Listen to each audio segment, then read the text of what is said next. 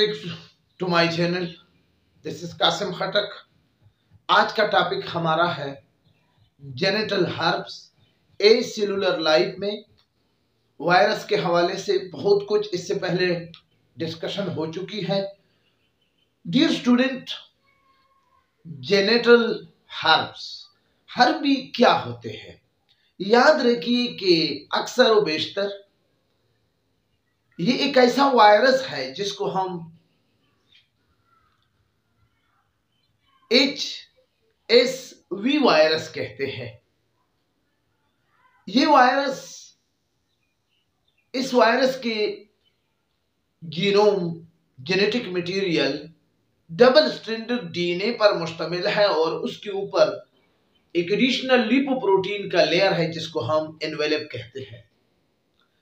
ये वायरस दो किस्म का होता है।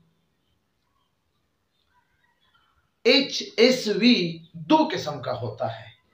एक H S V herpes simplex virus type one जो कि ओरल इन्फेक्शन काज करता है। और एक दूसरा type herpes simple virus type two genital herpes cause करता है। याद रखिए कि ये हर्बिस क्या चीज़ है?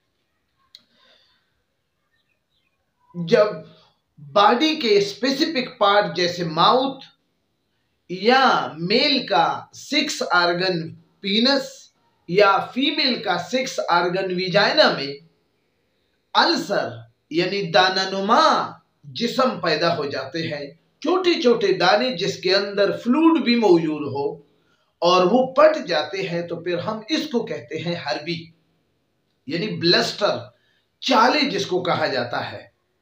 ठीक है ना?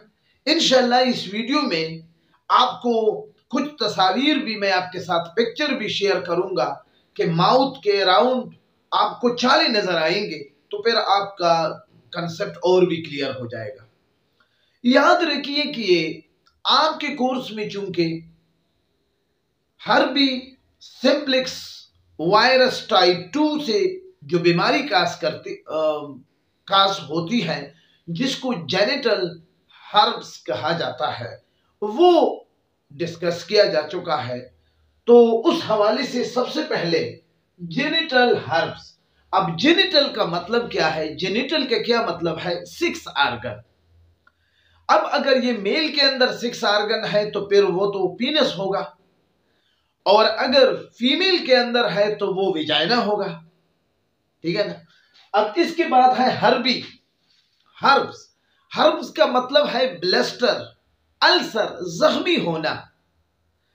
यानी जब कोई पार्ट जेनेटल पार्ट यानी सिक्स आर्गन जब वो उसके इर्द गिर्द ब्लस्टर पैदा हो जाते हैं एक खास किस्म के वायरस से, जिसको herpes simple, simplex type two कहा जाता है, उस वायरस की वजह से तो फिर हम उस कंटीजिनस डिज़ीज़ को, कंटीजिनस डिज़ीज़, उस डिज़ीज़ को कहा जाता है कि जो कि एक इन्फेक्टेड पर्सन से हेल्दी पर्सन में थ्रू कंटिक ट्रांसफ़र हो जाती है। यानी एक आदमी से दूसरे आदमी तक बीमारी फैलता है, बीमारी एक बीमार आदमी के ज़रिए, ठीक है ना? तो जी डिफिनेशन क्या है? ये कंटेजिनस डिज़ीज़ है, और viral sexually transmitted disease in which blister appear and genital यानी सिक्स आर्गन पर जब चाली नज़र आते हैं, ठीक है ना? ब्लस्टर नज़र आते हैं छोटे छोटे दाने नज़र आते हैं। याद रखिए कि ये ब्लस्टर बॉडी के मुख्तलिफ़ पार्ट्स में आपको नज़र आएँगे। लिप्स यहाँ पर भी आपको नज़र आ सकते हैं। यहाँ पर भी आपको नज़र आ सकते हैं। पेस पर भी आपको नज़र आ सकते हैं। नोज़ पर भी नज़र आ सकते हैं। आईज पर भी थ्रोट पर भी और म्यूकस मेम्ब्रेन पर, यानी मुँह के अंदर और रेक्टम विजाइना और पीनस पर ये सारी जगहों में आपको ब्लस्टर नज़र आते हैं, लेकिन जेनेटल हार्ब्स वो डिसऑर्डर है जिसमें आपको सिक्स आर्गन पर जब ब्लस्टर नज़र आए और वो herpes simplex type two virus से जो बीमारी कास करे तो हम उस बीमारी को कहते हैं जेनेटल हार्ब्स ठीक है ना? याद रखिए कि ये वायरस जब अंदर चला जाता है, इस वायरस की इन्फेक्शन से ये सिम्टम जो अभी मैं आपको बताने जा रहा हूँ, वो या तो हफ़्ते के बाद, या महीने के बाद, या साल के बाद आपको नज़र आएँगे। ठीक है ना? तो जी सिम्टम पहला सिम्टम इसमें क्या है कि फ्लू लाइक सिम्टम है। यानी आमतौर पर जो नजला और जुकाम की सूरत में आपको ये ये इलामत नज़र आएगा। और दूसरा क्या है? जर्नल वीकनेस है। बॉडी में आपको कमज़ोरी नज़र आएगी। तीसरा क्या है? इचिंग है, यानी जेनिटल आर्गन पर आपको खारिश महसूस होगा। और का इतना ज़्यादा खारिश होगा कि आप उसको स्क्रेचिंग के दौरान वो ब्लस्टर इपियर हो जाते हैं। बुखार भी हो सकता है, सर भी आपका दर्द इसमें किया जा सकता है। जब आपको पेशाब आए ड्यूरिंग यूरिनेशन आपको पेन भी महसूस हो सकता है। और इसके अलावा जो छोटे छोटे लाइम नोड है, वो स्विल भी हो सकते हैं, यानी पट भी जा सकते हैं। इसके अलावा जो नए बच्चे हैं, वो भी इस वायरस से महफूज नहीं है, वो भी इन्फेक्ट हो सकते हैं। जी, और ये बीमारी अक्सर बेशतर सात से दस दिनों के दौरान ठीक हो जाता है। ये इसका इलाज नामुमकिन है, ठीक है ना? अभी तक पॉसिबल नहीं है। याद रखिए कि इस बीमारी की थ्रू आउट लाइफ जारी रहती है। ठीक है ना? बहरहाल, जो इसका क्रॉनिक स्टेज है एक्यूट स्टेज है, जिसमें इसकी शिद्दत ज़्यादा हो, वो सात से दस दिनों तक हो सकती है। ठीक है ना? तो जी, क्या है? ट्रांसमिशन इसके क्या है? सिक्स ऑफ़ एनी काइंड यानी एनी काइंड ऑफ़ सेक्स जिस तरह का सेक्स भी आप करते हो, ये ट्रांसमिशन का ज़रिया है। दूसरा क्योंकि ये कंटीजियस डिज़ीज़ है, एक पर्सन से हेल्दी पर्सन इन्फेक्टेड पर्सन से क्या है हेल्दी पर्सन की तरफ़ ट्रांसमिट होती है तो ये एक sex of any kind sharing utensil अगर आप जो चीज़ों को, जिन चीज़ों को इस्तेमाल करते हैं, जैसे सरेंज है राजर है ब्लेड है, या आपके जो खाने के बर्तन है, उसको आप अगर आप इस्तेमाल कर रहे हो तो उससे भी, इस शेयरिंग से भी क्या हो सकता है?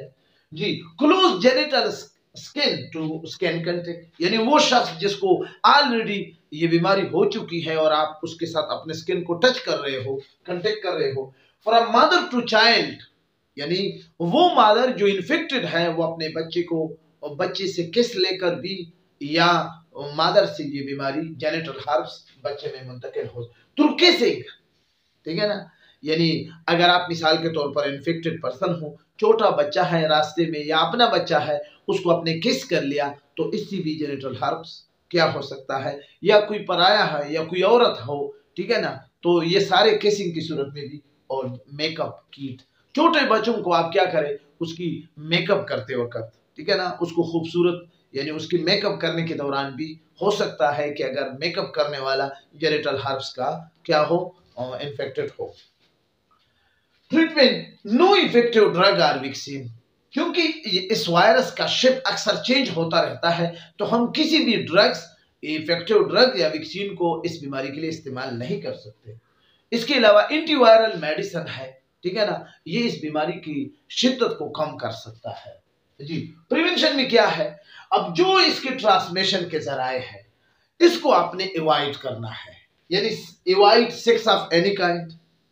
Avoid do not sharing utensil do not close contact genital herpes to skin contact और uh, इसके अलावा genital hygienic condition should be maintain यानी सफ़ाई का आपने खास ख्याल करना है ठीक है ना इवाइड स्किन कंटेक्ट और आपने सेक्सुअल एक्टिविटी को ड्यूरिंग ट्रीटमेंट आपने नहीं करना है तो ये इसकी क्या है प्रिवेंशन है इसके बाद एक और छोटा सा टॉपिक है इनशाला बहुत जल्द आपके सामने आ, मैं बनाऊँगा वीडियो। इस वीडियो में अगर आपको कुछ कमी लगी हो आपका कोई कंसेप्ट नहीं क्लियर हो रहा है तो लाजमी तौर पर क्या करें? आप अपना फीडबैक दें। जितना आपके कोर्स के मुताबिक था उतना ही मैंने मुनासिब समझा कि आपको क्या करो। आपको पढ़ाऊं। बाकी इसके हवाले से बहुत ज़्यादा मालूम है इंफॉर्मेशन है लेकिन चूँकि वक़्त और कोर्स हमें ये इजाज़त नहीं देता इस वजह से। अगर किसी को इस हवाले से बहुत ज़्यादा इंफॉर्मेशन चाहिए तो इन हम वो फिर कमेंट बॉक्स में लाजमी तौर पर कमेंट्स करें। इन हम आ, मैं कोशिश करूँगा कि उसको बहुत ज़्यादा इन्फॉर्मेशन इस हवाले से दे दूँ। बहरहाल ये एक कंटेजनस डिज़ीज़ थी जो हर हवाले से आपने हर जगह जितनी भी वायरस से बीमारियाँ फैलती है इसमें आप देख रहे हो कि अगर हम इस्लामिक प्रिंसिपल और रूल्स को फॉलो करें तो इन बहुत हद तक हम इससे निजात पा सकते हैं। इजाज़त चाहता हूँ, अपने दुआओं में याद रखिए। खुदाफिज